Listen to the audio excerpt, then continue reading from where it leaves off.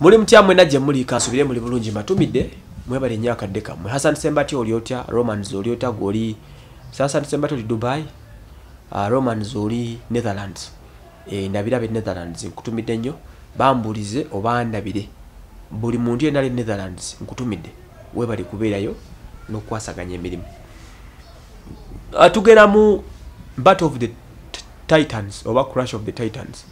Lutalo lugenda beera lwa comedy ennaku zomwezi kumi nanya feb comedy agenda kunyooka uh, ku bacomedians abatakwatagana ababiri.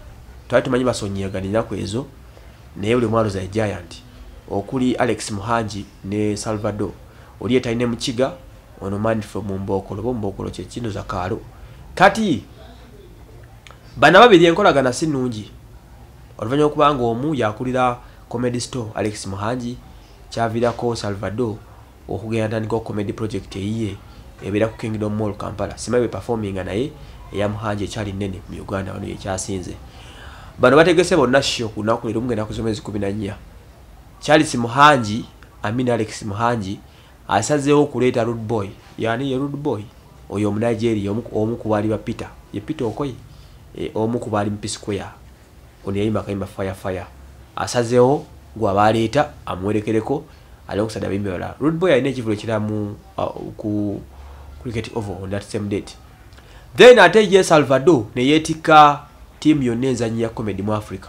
Ng'ekulemedde omukulu eric omondi omunakenya n'abala bangi. Bano bagenda kubeera ali ku airstrip ya kololo gye bagenda okwabikira.